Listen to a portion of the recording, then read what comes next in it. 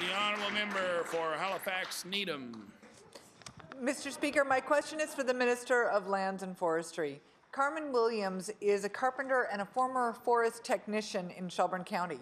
He's not against forestry, but he has joined more than a thousand people who have signed a letter to the minister calling for a moratorium on clear cuts in the county until the community is consulted.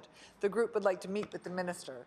Mr. Speaker, the Lahey report emphasized the need to improve the public consultation process for harvest plans. The minister has started an internal working group on that topic, but has taken no interim steps to engage communities. One step would be to meet with concerned communities. Can the minister commit to meeting with community members in Shelburne County before any more harvests occur?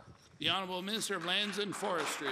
Thank you, Mr. Speaker, and I appreciate the question. Uh, I'm aware of that uh, specific stand. There uh, continues to be a process in place for engagement with the community. They have uh, 40 days to submit their views, and we make uh, we take those comments very seriously. And our IRM team uh, looks at that, which includes biologists, which includes foresters.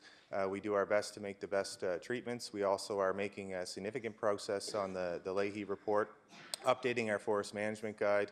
Uh, we will have a workshop and stakeholder engagement in the coming months. We have our experts, uh, external experts that we've uh, reached out to that should be joining our internal teams uh, shortly. So we are making progress, and I continue to, to look forward as we uh, make change to move towards ecological forestry in the province. The honourable member for Halifax Needham. Mr. Speaker, the Lahey report emphasizes, and I quote, the critical need for the embrace of openness, transparency, collaboration, and accountability by the department. But public consultation at this point has not gotten better. The one mechanism the public has for viewing harvest plans is through the online harvest viewer. But recently, changes were made in what some feel is a crude public relations spin.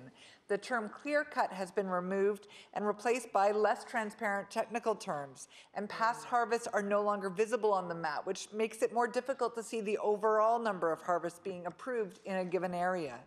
Does the minister think that these changes qualify as embracing openness, transparency, collaboration, and accountability like the Lahey report called for? The honourable minister of Lands and Forestry.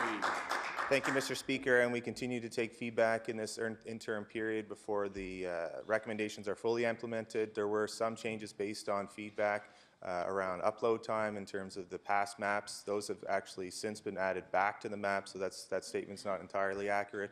Uh, and we actually put more uh, treatment spec- specificity out there so that there is no um, debate about what the actual prescription or treatment is on the ground. Uh, we've also made extra changes uh, in terms of our retention quality in the uh, in the forest, and also having setbacks from uh, different areas. And if you'll see, there has been changes of treatments uh, based on the reviews that continue to take place based on the public comments. We are making progress, and I continue to uh, look forward to seeing how we can improve the way that we improve our transparency as we have been already. Thank you, Mr. Speaker.